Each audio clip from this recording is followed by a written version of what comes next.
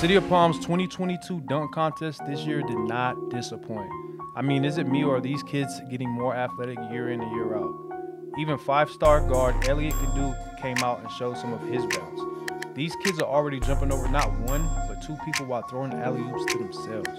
But my favorite dunk of the night was when three-star guard John Gamble from Florida caught an alley-oop off the side of the backboard and finished with a windmill.